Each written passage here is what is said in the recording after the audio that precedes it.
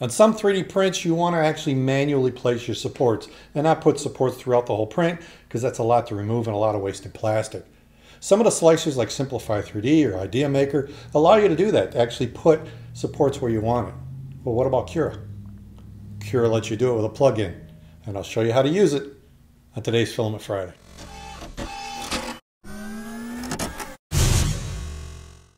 This week's Filament Friday is brought to you by these Patreon supporters. To demonstrate manual supports in Cura, I'm going to use this Iron Man shooting statue I found on Thingiverse from user Melik. I loaded it into Cura version 4.3, but I'm going to reduce it down to 50% of its original size. I'm also going to turn it 45 degrees. This will make it easier to put manual supports where I want them on this model.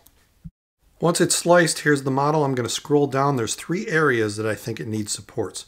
One under the hand here, another one here between the legs, and I'm not even going to comment on what that looks like. And also under the arm here, where you see these little islands of plastic, those need supports. The rest of this model I think will print without supports pretty cleanly. So I'm going to enable supports. I'm going to set it to everywhere. And then these are my standard settings, 45 degrees. I won't go through them again. I did in a previous video. But here's the supports all over the place. It's just everywhere in this model. It's going to take a lot longer to print and use a lot more plastic and a lot more cleanup. So I don't want to do this if I don't have to. So let me change the settings and show you one other option they give you, which is touching the build plate. Now, will this fix it? No, because all it does is what's touching the build plate, which is the hand here. You know, go straight down to the build plate. Everything else is off the platform. So all the areas that I wanted to support aren't supported. A way around that within Cura is the support blocker. What it does is allow you to put these blocks all over the print and wherever that block is, it will not put supports. Now it's just like an STL file. You can resize it, move it. So you position it where you don't want supports. And then when you do supports, and I'll change this back to everywhere, where that block is, it won't print supports. So you can see the head is clean. So what you have to do is put these blocks all over your print where you don't want supports. There's another option. Instead of putting blocks where you don't want supports, how about putting blocks where you do want supports? That's what custom supports does.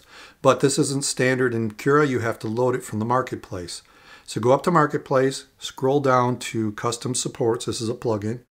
Click on install, and then you'll have to click on their license agreement and then quit Cura and restart it.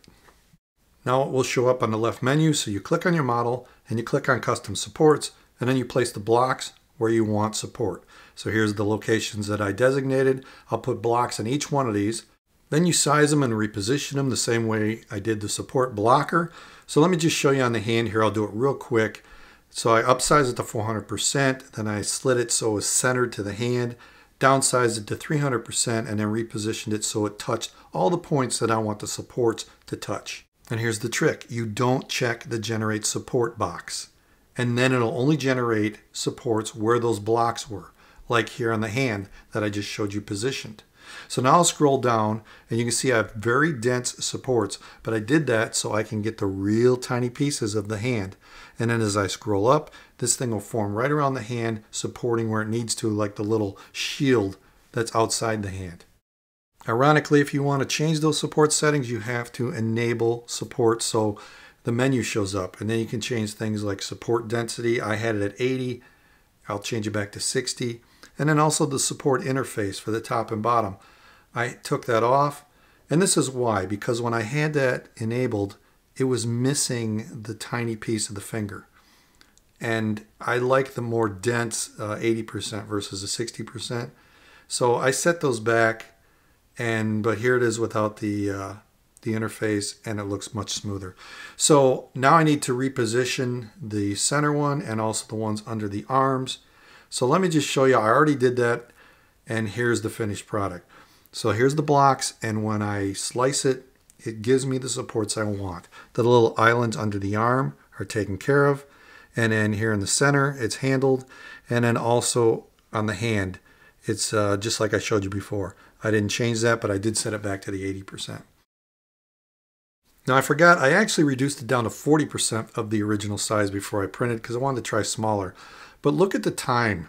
It's a little over three hours, three and a half hours, and five hours and 10 minutes if I do the full supports. So not only do you save you know, plastic and removal time, but you actually save print time using this as well.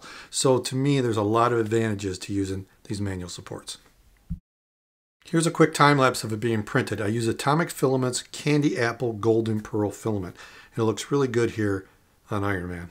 Overall, it's a decent print. It's a 0.2 layer height, 25% infill, and I printed at 50 millimeters per second using my profiles. So overall, not too bad. Now let's see how hard it is to remove these supports. Actually, because they're solid, I could just twist them and as long as I don't break that hand, this should work pretty well. So I kept twisting until I felt it loosen and then I could just pull it right off. The top of it seemed really smooth. The hand came out good. The fingers look really good. The shield next to the hand, not too bad. Now I needed to do the arm. This one was a little bit tougher. I had to keep wiggling it back and forth at different points. I could feel it breaking away, but I figured if I just keep going back and forth, it should work. And finally, once I did it from the center, it popped. And when I pulled it off, the top of it looked good and the underneath the arm, not too bad.